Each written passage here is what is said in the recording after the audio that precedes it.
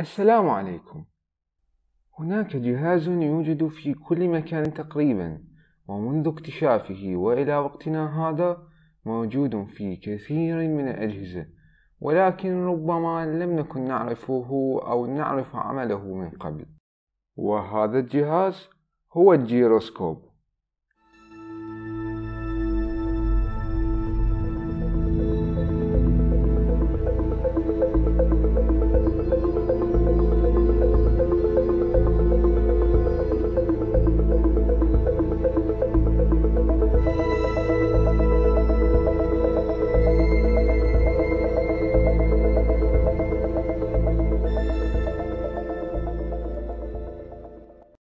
ربما نكون قد سمعنا عن الجيروسكوب ولكننا قد لا نعرف ما هو الجيروسكوب.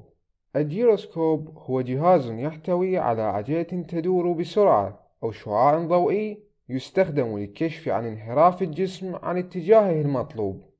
ونحن نستخدمه كل يوم فهو مهم للغاية في كل شيء من هواتفنا الذكية إلى نظام الملاحة المتقدم في مكوك الفضاء.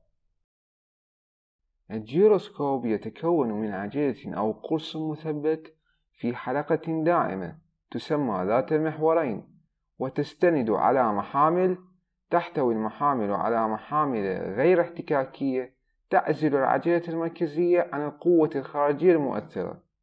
ببساطة يتم تحديد محور الدوران.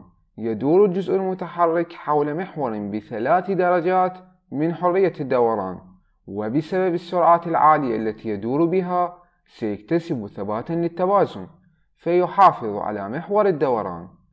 وعندما يتم تطبيق الجيروسكوب بقوة دوران حول المحور المحدد يمكن قياس الاتجاه باستخدام ظاهرة تسمى السبق.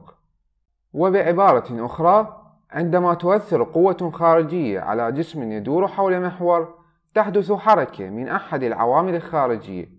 فيتم تمرير معلومات حول هذا الدوران إلى محرك أو جهاز آخر ينشئ قوة في اتجاه معاكس وبالتالي تلغي مقدار حركة وتحافظ على الاتجاه.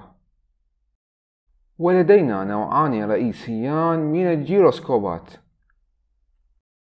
الأول هو الجيروسكوبات الميكانيكية.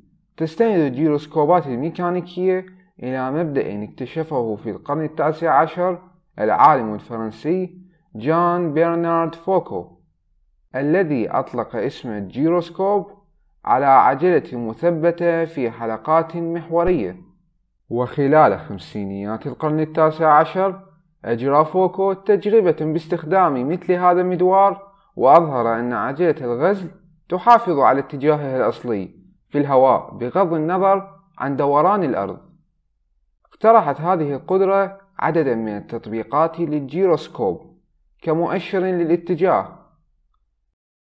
وتوالت الاكتشافات فتم في عام 1908 تطوير أول بوصلة جيروسكوبية وفي عام 1909 تم بناء أول طيار آلي باستخدام جيروسكوب للحفاظ على مسار الطائرة.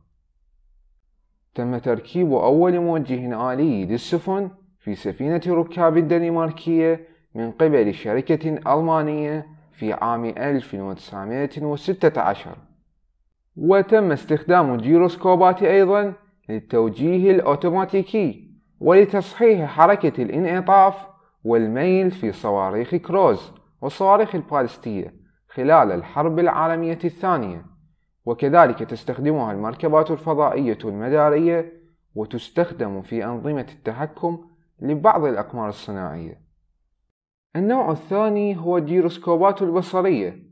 من حيث الفائدة فالنوعان متشابهان ولكن الفرق هو أن الجيروسكوبات البصرية لا تستعمل أجزاء متحركة تقريبا وطريقة عملها معقدة قليلا حيث يعتمد هذا النوع على ما يسمى تأثير سانياك باستخدام الليزر.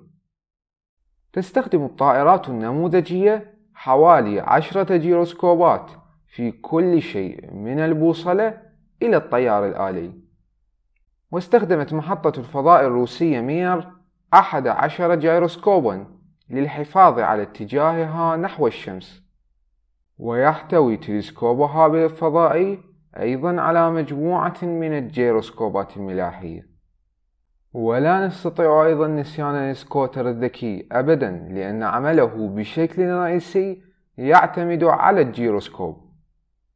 وربما لا تعرفون بأنه يوجد أمامكم جيروسكوب فحتى الهاتف الذكي يوجد بداخله جيروسكوب. وهذا ما يجعل من الممكن لنا اللعب باستخدام حواس الحركة في هواتفنا وأجهزتنا اللوحية. وكذلك يساعدنا جيروسكوب الهاتف الذكي في مشاهدة مقاطع الفيديو أو الصور بزاوية 360 درجة. فعندما نقوم بتحريك الهاتف تتحرك الصورة أو الفيديو بسبب وجود جيروسكوب صغير في الهاتف.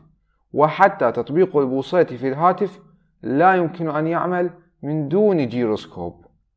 وبشكل عام عندما نقوم بتدوير الجيروسكوب فإن محوره يريد أن يستمر في الإشارة في نفس الاتجاه. إلى اللقاء.